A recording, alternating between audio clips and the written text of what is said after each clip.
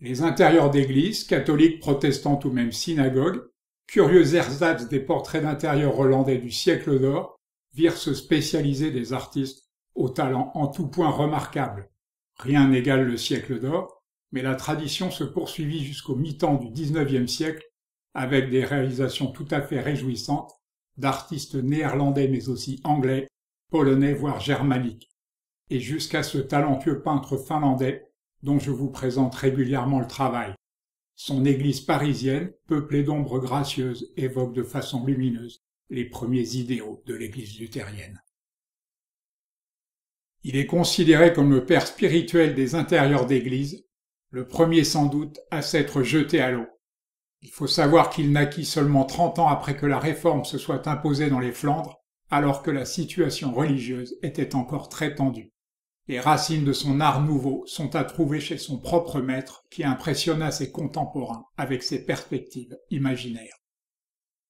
Le succès rencontré par l'élève fut tel que le maître lui-même se mit sur le tard aux intérieurs d'églises. Le genre se développa durant tout le XVIIe siècle, à Harlem bien sûr, mais aussi à Anvers ou Delft. Parmi ceux qui succombèrent à la vague, on trouve ce peintre surdoué, jusque-là spécialisé dans le patrimoine architectural, et dont les intérieurs ont ceci de particulier que les églises sont souvent fantasmées.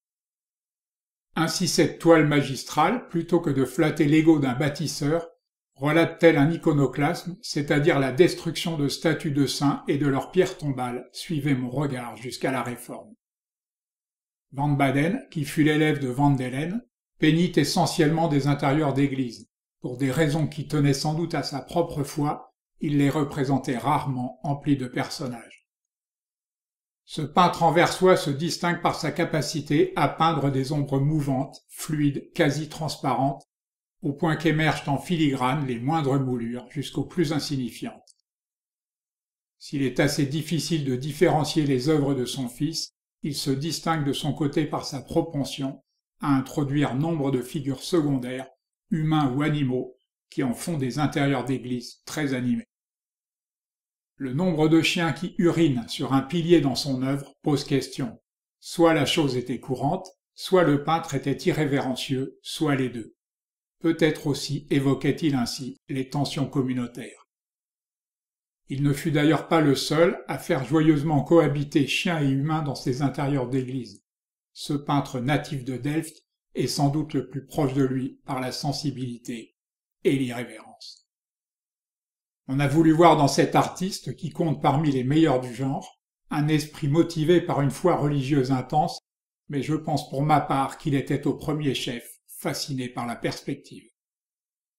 L'intérieur de l'église Saint-Bavon de Harlem est le plus représenté de l'histoire de la peinture. Natif de cette ville où il fit l'essentiel de sa carrière, ce peintre en est un ambassadeur incontournable. Apparu au cours du XVIIIe siècle, une forte attirance pour l'Orient va connaître son apogée au XIXe. Reposant davantage sur des fantasmes et des clichés occidentaux que sur une expérience réelle, elle a tout de même engendré de très belles œuvres.